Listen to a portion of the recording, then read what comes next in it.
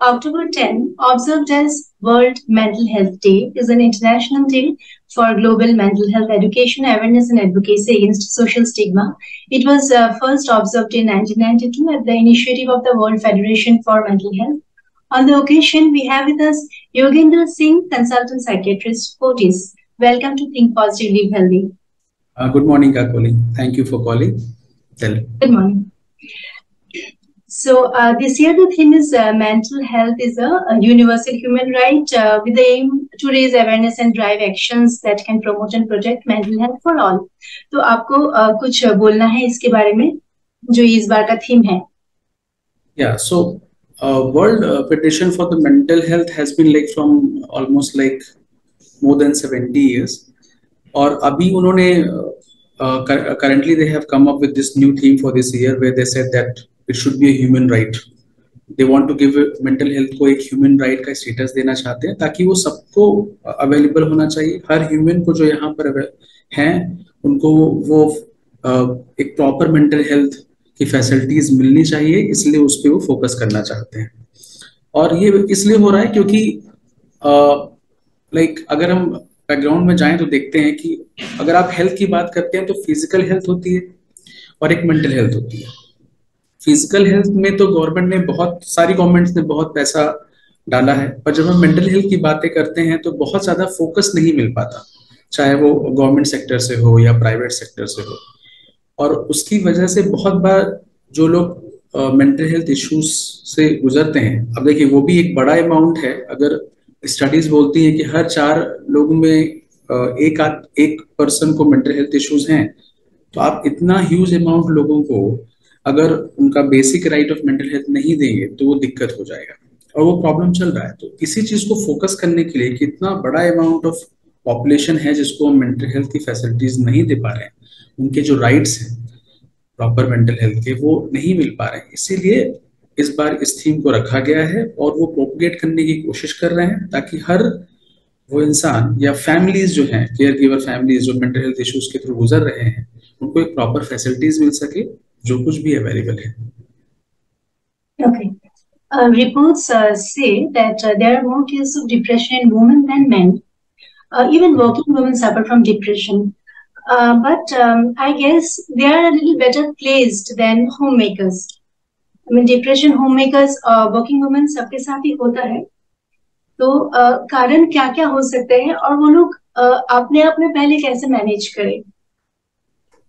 सो so, देखिए इसमें दो क्वेश्चन आपने पूछा और हमें अंडरस्टैंड करना है कि सारी स्टडीज़ में हमें बताया कि जो डिप्रेशन है वो वुमेन्स में ज़्यादा है एज कंपेयर टू मेल और उसका रीजन साइंटिफिक रीजन ये है कि women go through lot of hormonal changes अपनी लाइफ साइकिल में तो उसकी वजह से they are more prone to having a depressive symptoms as compare to male now second part जो है, जहाँ पर स्टडीज़ ने ये भी देखा है कि जब हम डिप्रेशन को कंपेयर करते हैं तो वर्किंग वुमेन या जो वुमेन्स घर में हैं हाउस वाइफ हैं, जो घर का होम मेकर्स हैं केवल, उनमें कैसा है कि जो वर्किंग वुमेन है, वो बेटर पोजिशन है। वो ज़्यादा अच्छे से मैनेज कर पा रहे हैं, उनके डिप्रेसिव सिम्टम्स कम है, ठीक है? लेकिन जो हाउस वाइफ्स हैं उनकी डिफ़िकल्ट है। अब उसका रीजन बहुत आसान सा है मतलब स्टडीज़ में ऐसा मिला है कि जो हाउस वाइफ लेडीज़ हैं, उनका जो रूटीन है एकदम फिक्स है। मॉर्निंग में उठना है, बच्चे का नाश्ता बनाना है, ये करना है, फिर आराम करना है, फिर ये करना है, फिर ये करना है, ये करना है। उसमें आपके पास गुंजाइश नहीं रहती है कि आप अपने ही तरीके के लोगों से बातचीत करो कोप अप करने की चीज़ें सीखो। आपके पास लाइफ में कुछ और नहीं होता है। आप पूरा का पूरा जो वर्क है, वो आप फैमिली पे दे रहे होते हो। आपका अपना खुद का कंसर्न थोड़ा कम होता है। तो मेंटल हेल्थ की बात मैं कर रहा हूँ। Of course house wife is taking responsibility of the family but then this is how it happens working women में कैसा है कि this lady is going outside she is doing some work at home she is going outside वहाँ का एक अपना routine है which she is doing for hustle she is earning some money some respect और जब बाहर के लोगों से आप डील करते हो, लोगों से बातचीत करते हो तो वहाँ डिफरेंट लेडीज़ मिलते हैं, आप उनसे डिस्कस करते हो, आपको, आपके नए कोपिंग स्किल्स जनरेट होते हैं, आप चीज़ों को अच्छे से हैंडल करना सीखते हो। आपके रूटीन में एक बदलाव है, केवल एक जगह का प्रॉब्लम्स नहीं है ऑफ़िस के भी इश्यूज़ आप मैनेज कर रहे हो, घर के इश्यूज़ भी मैनेज कर रहे हो तो ये चीज़ें काफ़ी हद तक हेल्प कर जाती हैं। तो ये जो डिस्पैरिटी है, ये इसी जगह पर देखने को मिलती है। अब जब आप पूछोगे कि हाउस वाइफ इस चीज़ के लिए क्या कर सकते हैं? Like people who are not totally work तो what I will say is that कि अक्सर मैं अपने क्लाइंट्स को भी यही बोलता हूँ कि आप अपनी रूटीन को एकदम मोनोजनस मत रखो। मोनोटोनस मत रखो। केवल यही रूटीन नहीं होना चाहिए। कुछ रूटीन आपके लिए भी होना चाहिए। लाइक फॉर एग्ज़ाम्पल फैमिली का मैं रिस्पॉन्सिबिलिटीज देखती हूँ, लेकिन मेरा अपना रूटीन ये है कि I get up in the morning I go for yoga मैं वॉक करने के लिए जाती हूँ। मेरी कुछ कॉमन फ्रेंड्स हैं जिनके साथ हम बैठ के बातें करते हैं। बहुत सारे इधर उधर की बातें करते हैं। ठीक है? एक सोशल स्किल जनरेट करना लोगों से बातचीत करना apart from people are in the family फिर आ, साथ में और भी चीज़ों में जैसे कि हर आदमी की रुचि होती है। किसी को पेंटिंग का इंटरेस्ट है किसी को यूट्यूब वीडियोस बनाने का इंटरेस्ट है किसी को आ, कुछ अलग टाइप का इंटरेस्ट है। वो भी परस्यू कीजिए ताकि वो आपको एक अपना बन दे कि हाँ मैंने वो किया जो मुझे पसंद है। तो आपको एक बैलेंस मिलता है। You are doing something for your self and something you are doing for the family also like lot of people want to study अब बच्चे हैं तो आप नहीं पढ़ पा रहे हो। अब बाहर तो बहुत सारे कोर्सेज हैं। बहुत सारे ऑनलाइन कोर्सेज हैं बहुत सारे कॉरेस्पॉन्डेंस uh, कोर्सेज uh, हैं। आप वो जब करते हो तो you get a feeling of कि मैं अपने लिए कुछ कर रही हूँ। It gives you confidence so all these basic things करके भी हाउस वाइफ काफ़ी अपने आप को इम्प्रूव कर सकते हैं। Okay. Uh, it's uh, very common for people suffering from long-term chronic disease to suffer from depression, but along with them, even their caretakers suffer. तो uh, जैसे लॉन्ग uh, टर्म किसी को एक डिज़ीज़ में वो सफ़र कर रहे हैं तो बार बार हॉस्पिटल जाना ये टेस्ट वो, वो टेस्ट इन लोगों को भी थोड़ा हो जाता है low phase I mean depression और समथिंग ऐसे हो जाता है। अलॉन्ग विद देम उनके केयर uh, टेकर्स को भी होता है। तो वो लोग अपना और अपने पेशेंट्स का ध्यान कैसे रखें? अपने मेंटल हेल्थ के लिए।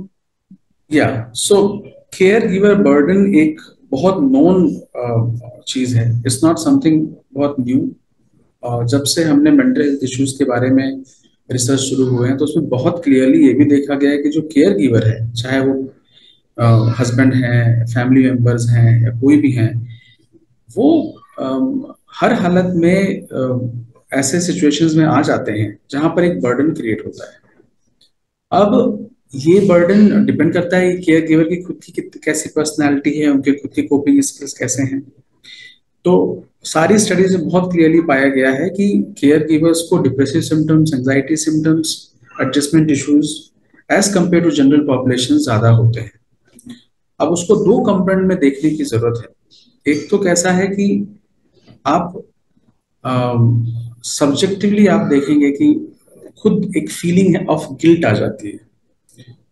गिल्ट फीलिंग ऑफ़ शेम रहती है लोगों के अंदर। एक कॉन्फिडेंस पुअर हो जाता है। तो फॉर एग्ज़ाम्पल इफ़ कि कोई वाइफ है, उसका हस्बैंड इज़ सीजोफेनिक तो आपको एक गिल्ट है।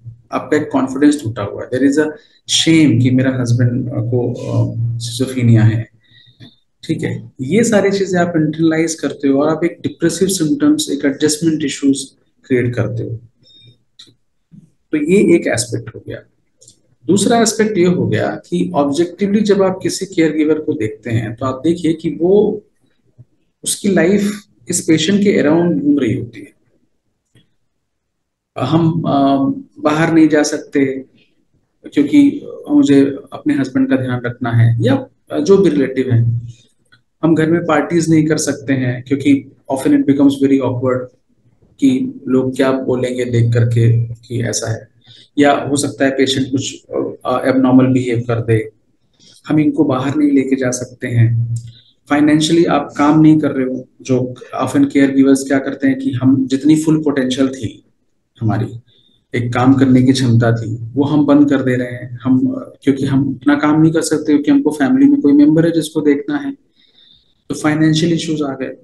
तो ये सारे जो चीज़ें हैं कि एक सोशल इश्यूज़ हैं कि आप इंटरेक्ट नहीं कर पा रहे हैं फाइनेंशियल इश्यूज़ हैं तो ये सारी चीज़ें मिल करके एक बहुत बड़ा बर्डन क्रिएट करती हैं केयर गिवर्स के ऊपर।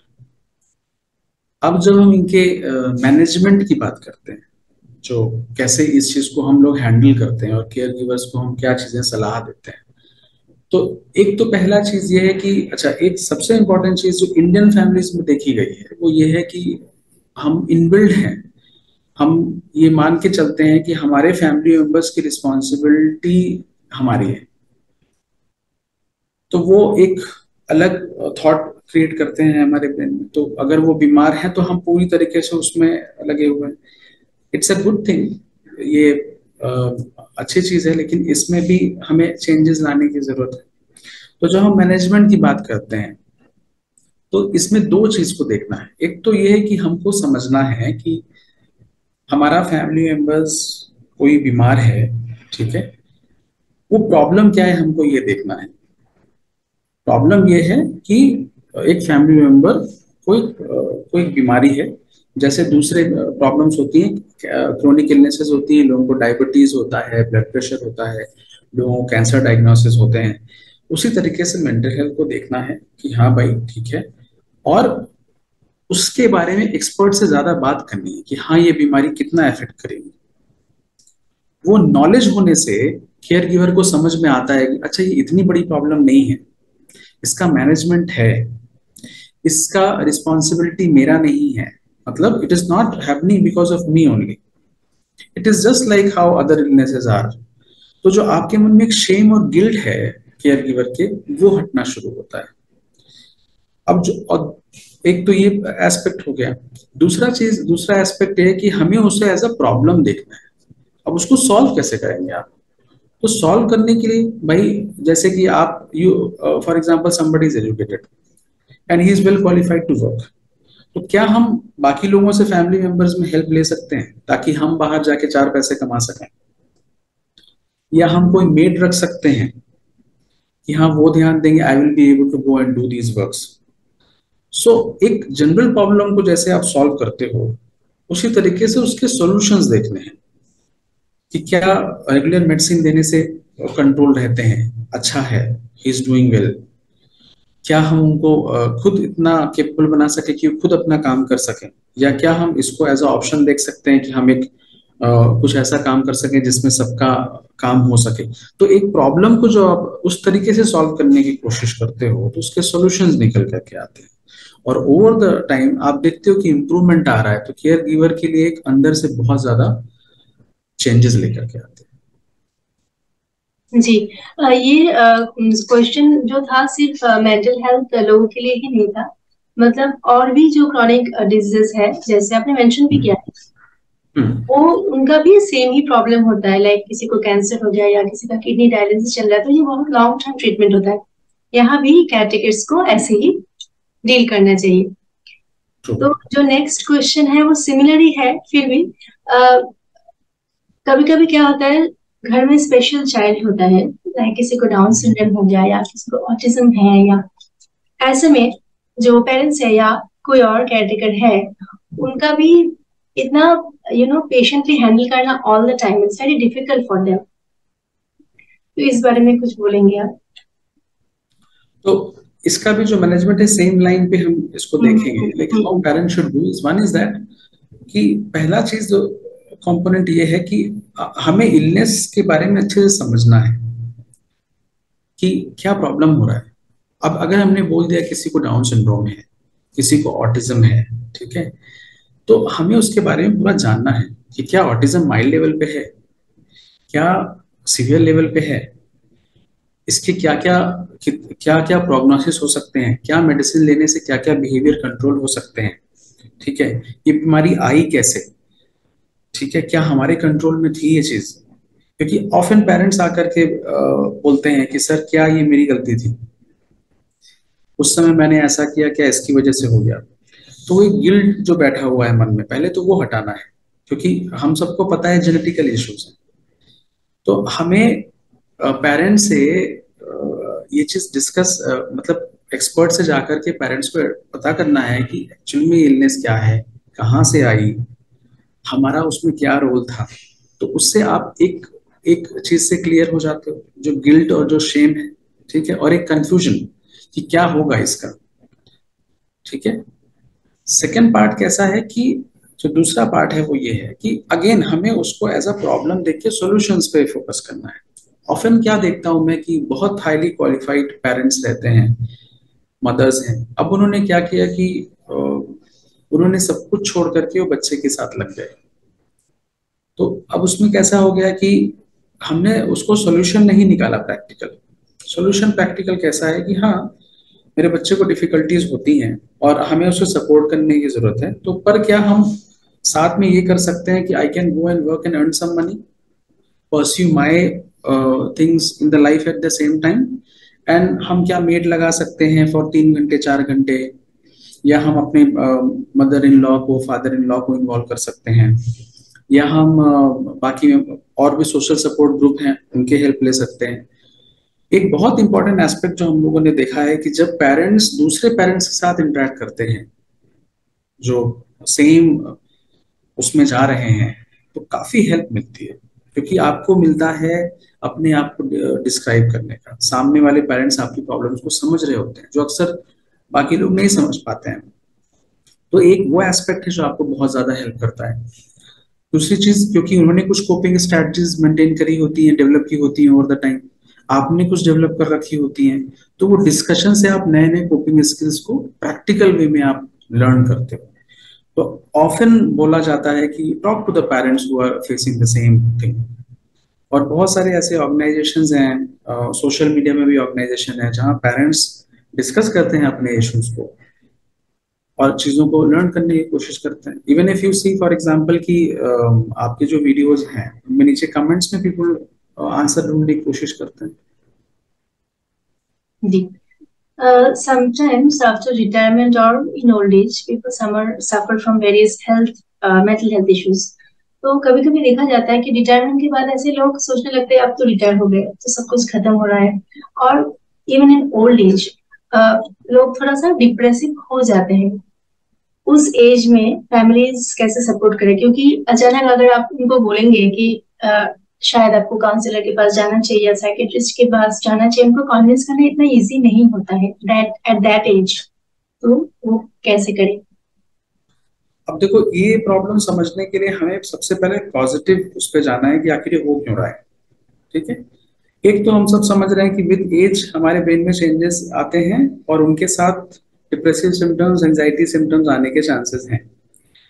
सेकेंड जो इम्पोर्टेंट एस्पेक्ट है, जो चेंज हुआ है, कि एक आदमी जो अभी तक खुद अर्न कर रहा था, जो जिसके पास फैमिली का कंट्रोल था, जो लोगों को प्रोवाइड कर रहा था आज वो खुद उस स्टेज में है जहाँ पर वो लोगों से वो रिटायर्ड है, वो लोगों पे डिपेंडेंट है। तो जो उसका अहदा फैमिली में था, अब वो नहीं है।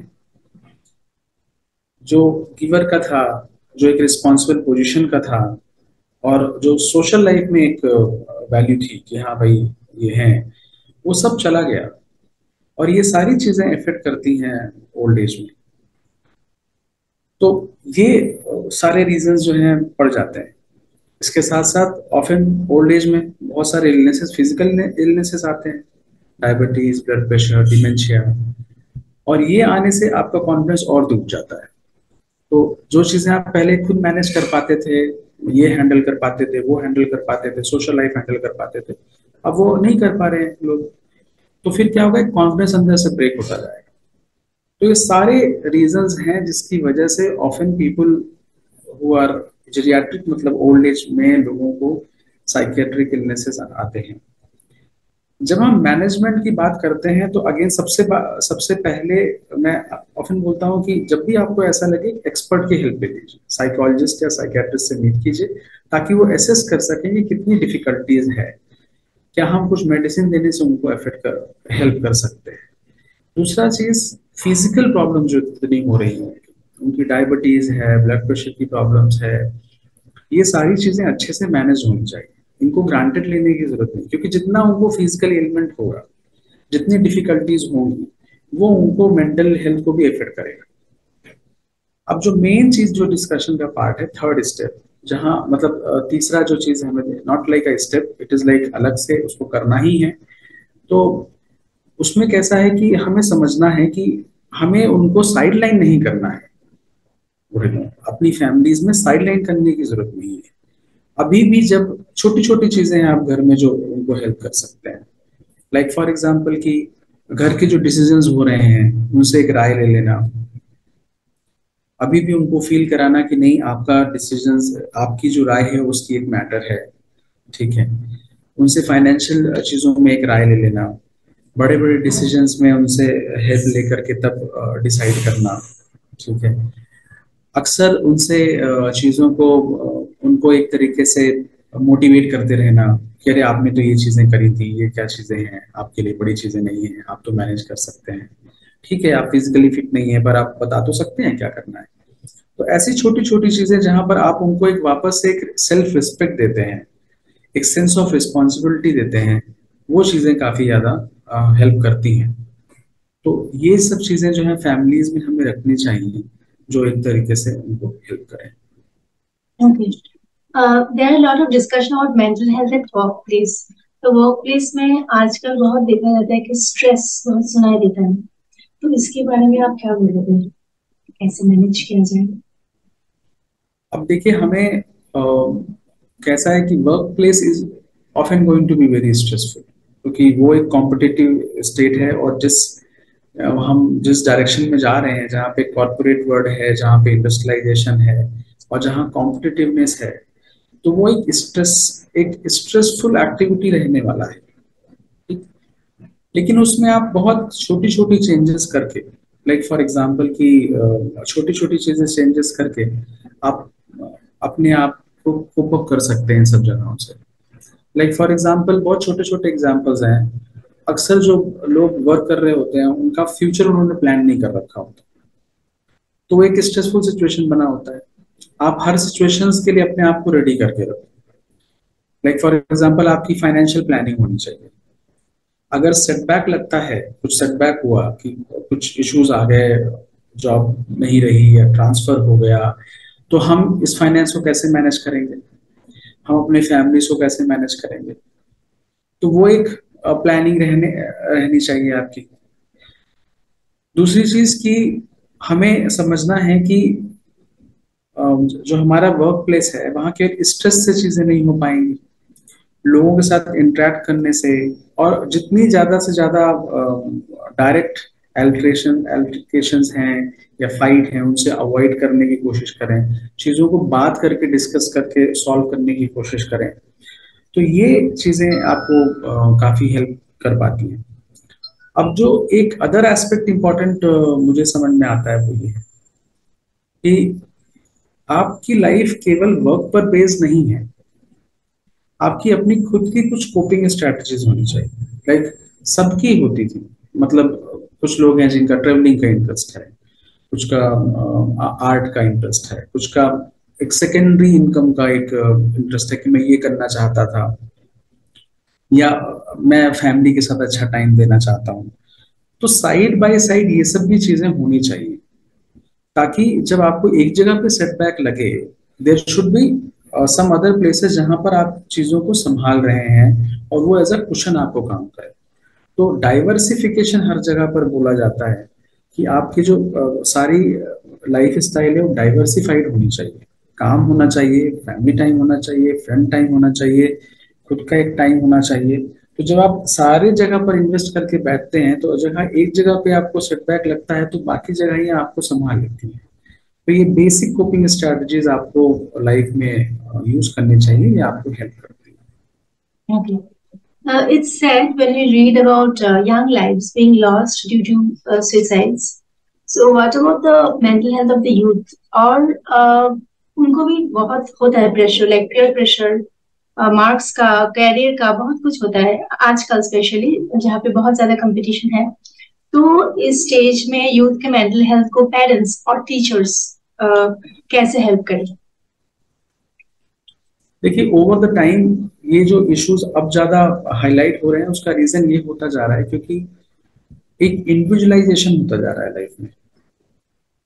लाइक सोशल एक्टिविटीज़ थोड़ा कम होती जा रही है। As we have seen that people are more towards them like उनका मोबाइल फ़ोन है उनके गेम्स हैं um, उनकी अपनी पर्सनल uh, रिलेशनशिप्स uh, हैं। अपनी अप, मेरे अपने टारगेट हैं मुझे इतना पढ़ना है। मुझे ये बनना है बस। उसमें सोशल कंटेक्स नहीं है। तो जब आपको, जब बच्चों को सेटबैक लगता है तो उन, वो उसकी फुल रिस्पॉन्सिबिलिटी ले लेते हैं। और क्योंकि वो ट्रेन नहीं है इस चीज़ को हैंडल करने के लिए तो फिर कैसा होगा कि ये सारे इश्यूज़ आ जाते हैं। तो वहाँ पर जो बेसिक चीज़ें जो टीचर को और पेरेंट्स को ध्यान देना चाहिए, वो ये है कि बच्चे का जब डेवलपमेंट हो रहा है ओवर द टाइम एक हर डायरेक्शन में डेवलपमेंट करने की ज़रूरत है। कि उनको एक अंडरस्टैंडिंग क्रिएट करने की ज़रूरत है कि there should be social connect एक फैमिली में कनेक्शन होना चाहिए। कि तुम अकेले नहीं हो, तुम भले स्कूल अकेले जाते हो बट जितनी रिस्पॉन्सिबिलिटी तुम्हारी है, उतनी रिस्पॉन्सिबिलिटी हम सारे फैमिली मेंबर्स हैं। And same way you are also responsible for the other family members तो जब तुम्हें सेटबैक लगता है तो तुम बहुत आराम से आके फैमिली में डिस्कस करते हो कि यार ये चीज़ हो पाया, मुझसे नहीं हो पाया। इज़ आर फाइंडिंग डिफ़िकल्ट और फैमिली अपने कोपिंग जो पेरेंट्स ने पहले कोपिंग स्ट्रेटजीज डेवलप कर रखी है, जो एल्डर्स ने कोपिंग स्ट्रेटजीज डेवलप कर रखी है, वो डिस्कस करते हैं, उनको हेल्प कर पाते हैं कि नहीं, बेटा, हम ऐसे इस चीज़ को कर सकते हैं या ऐसा चीज़ हो सकता है या कोई बात नहीं, हम चीज़ों को मैनेज कर सकते हैं। तो इससे क्या होता है कि एक सेंस ऑफ़ कॉन्फिडेंस आता है। और आप एक एक सोशल कोपिंग स्किल डेवलप करते हो। तो ये एक बड़ा एस्पेक्ट है जो हर जगह पे देखने की ज़रूरत है। Similarly in school environment teachers को भी ऐसे हर समय प्रेजेंट रहना चाहिए कि तुमको अगर कोई डिफिकल्टीज होती है तो तुम आकर के डिस्कस करो। कोई सेटबैक लगता है तो teacher should be able to sit and tell that इसमें कोई बड़ा इशू नहीं है। लाइफ केवल इतनी नहीं है। बहुत बच्चे ऐसे करते हैं। अगर अभी ऐसा प्रॉब्लम्स आ रही तो हम ऐसे सॉल्व कर सकते हैं। कई चीज़ों को दे सकते हैं। तो ऑफन कई बार कैसा होता है कि when childrens are not able to discuss this with parents they are able to discuss with teacher teacher भी एक अच्छे पोजिशन में होते हैं बिकॉज़ वो uh, बच्चों के एक्टिव पार्ट में इन्वॉल्व रहते हैं। यूथ जो एडोलसेंट्स हैं उनके एक्टिव पार्ट में इन्वॉल्व रहते हैं। उनके साथ टूर्स में जाते हैं उनके साथ वेरियस एक्टिविटीज़ करते हैं। तो वहाँ पे उनको अंडरस्टैंड करने की ज़रूरत है, उनके हर स्ट्रेस को समझने की ज़रूरत है और उसको अपने स्किल्स के बेसिस पे उनको एक्सप्लेन करने की ज़रूरत है ताकि जो हमारा यूथ है वो समझ पाए कि इसको कैसे हैंडल करना है और हमारे पास लोग हैं जिनको हम डिस्कस कर सकें। तो ये सारी चीज़ें इस तरीके से हेल्प कर पाती okay with what uh, mental health disorders. Maximum people come to you for psychiatric psychological discussion. तो लॉट ऑफ़ पीपल जो हम लोग देखते हैं एक तो एडजस्टमेंट इश्यूज़ को लेकर के आते हैं बिकॉज़ थिंग इज़ की जैसे मैंने बोला कि हमारी as we are changing in India हम चीज़ें चेंज कर रहे हैं। पहले हम ज्वाइंट फैमिलीज़ में थे तो हमारे पास एक ऑटोमेटिक कोपिंग स्ट्रेटजीज था। मम्मी थी सास थी um, मौसी थी ये थे वो थे। तो उसमें कैसा होता है कि कोई भी प्रॉब्लम्स होती थी तो हमारे पास एक क्वेश्चन इफ़ेक्ट था। अभी कैसा हो रहा है कि हम इंडिविजुअलाइज फैमिलीज़ में जाने की कोशिश कर रहे हैं। जब आप इंडिविजुअलाइज फैमिलीज़ में जाने की कोशिश करते हैं तो often people find it difficult to adjust work pressure बहुत ज़्यादा है, वहाँ डिफ़िकल्ट चीज़ होता है। तो एक एडजस्टमेंट इश्यूज़ के साथ लेकर के आते हैं। एंग्जाइटी डिसऑर्डर्स काफ़ी ज़्यादा लोग लेकर के आते हैं क्योंकि जब चीज़ों को फेस नहीं कर पा रहे हैं, ठीक है तो जो एंग्जाइटी अभी तक वो किसी तरह मैनेज कर पा रहे थे अब वो एकदम से इंक्रीज हो जा रही है तो उनको डिफिकल्टीज हो रही है। और डिप्रेसिव सिम्टम्स लेकर के भी काफ़ी अच्छी खासी पॉपुलेशन हमारे पास आती है। Okay okay. तो पहले से तो आ, काफ़ी इम्प्रूव हुआ होगा। पहले जैसे लोग थोड़ा हेसिटेशन होता था साइकेट्रिस्ट के पास जाने में आजकल अवेयरनेस बहुत ज़्यादा है कंपेरेटिव करेक्ट सो एक्चुअल में क्या हुआ है कि in last few years lot of both from the government side and non government organisation काफ़ी ऑर्गेनाइजेशन हैं, बहुत सारे चैनल्स हैं यूट्यूब में including one of them is yours also so वहाँ पे कैसा हो रहा है कि अब चीज़ों को बात कर रहे हैं लोग। जब बात कर पाते हैं तो लोगों एक अवेयरनेस क्रिएट हो रही है।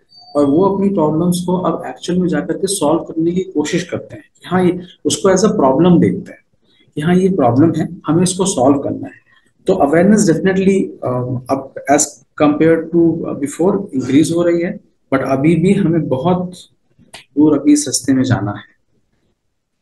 Okay so as a concluding note आप मेंटल हेल्थ डे के ओकेजन में क्या बोलना चाहोगे as a whole so mental health day के इट्स लाइक मुझे इस प्लेटफॉर्म को basically I just want to create an awareness around लोगों को समझना है कि ये प्रॉब्लम किसी को भी हो सकती है बहुत सिंपल टर्म में।